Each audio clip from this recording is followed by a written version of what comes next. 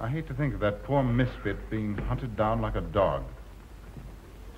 You know, I simply can't bring myself to believe in that vampire theory. Uh, will you pour, Ruth? Certainly. I know, Carl.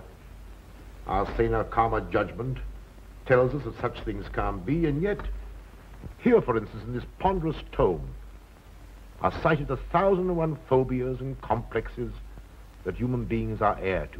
Some of them are strange, more untenable even than werewolves and vampires. Uh, could I have some more, please? You drink entirely too much coffee. That's my one weakness. And also my excuse for tolerating Georgiana's laxity and other things. She does know how to make good coffee. Thank you. She brings it to me every night at exactly 10 o'clock. And when I've drunk it all, then I know it's time to quit. Yes, and eat breakfast so you can have more coffee. Oh.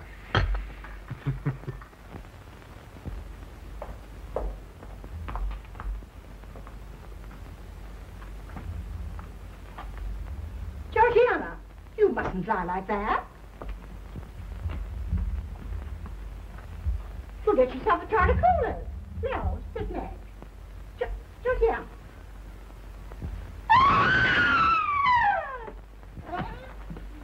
That was Auntie.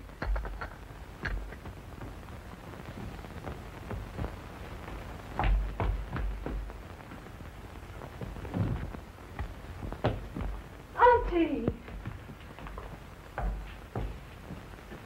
Oh. I'm all right. I'm all right now. Oh, I'm so Amy, help Frau Schnapper into her room. I'm silly imagination. I, I imagined I saw Georgia.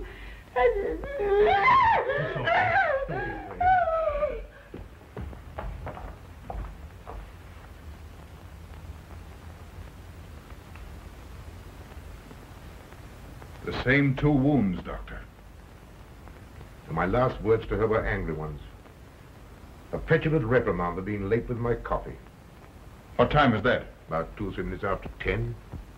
She's been dead then about 45 minutes. Hmm. Bloodless like the rest. It passes all belief. Ruth's aunt saw Herman Gleib in the garden this morning. Could it be that he...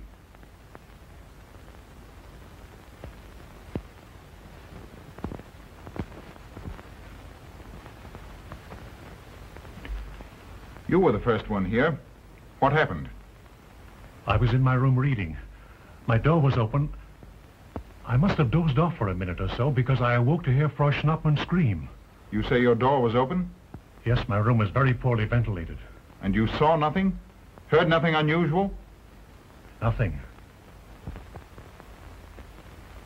Carl, What is it? this crucifix belonged to Martha. See who it is, Emil. Can you positively identify this as belonging to Martha? Without a doubt.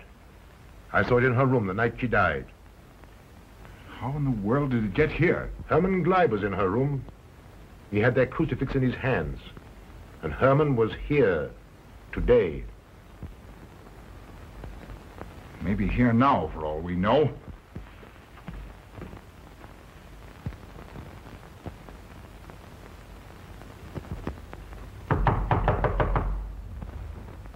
Who is it? Ah, Oh, how is she? she's had a real shock this time, but she'll be all right. I'm putting her to bed. Leave her there. Don't let her out of this room. And don't you leave it either. Oh, what do you mean? It looks as if Herman Gleib is the killer after all. It's possible he may be hiding here in the castle. Why, what makes you think so? I'll tell you later. Stay in your room and keep your door locked. Don't worry about that.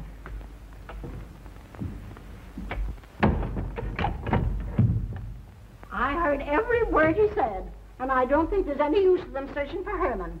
They should look for a dog, a human-faced dog. Auntie, the doors and windows are all locked. There's nothing to be afraid of now. Well, who said I was afraid?